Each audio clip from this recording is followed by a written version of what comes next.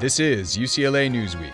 In this lovely summer edition, Smart Power, Fighting Melanoma, Building Mobile Apps, and Teens and Junk Food.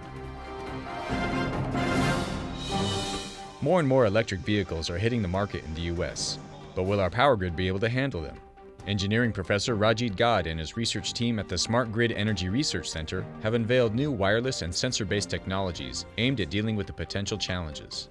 Their advances include software that has the ability to intelligently balance power demands of electric vehicles with the grid supply.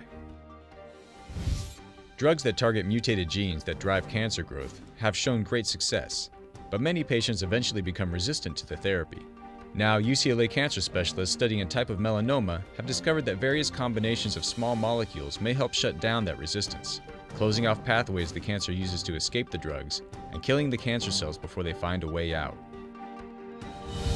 Want to give underrepresented high school students a leg up in high tech? UCLA has an app for that. As part of a special program for high schoolers and undergrads, UCLA Center for Embedded Network Sensing provides students with the opportunity to develop their own cell phone based apps based on participatory sensing, which relies on volunteers who use mobile phones and other web based technologies to collect and share data about the world around them.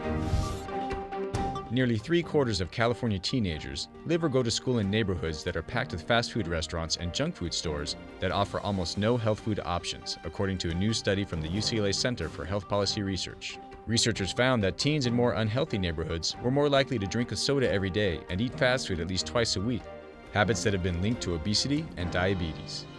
For more on these and other stories, please visit newsroom.ucla.edu and follow the Twitterations at UCLA Broadcast.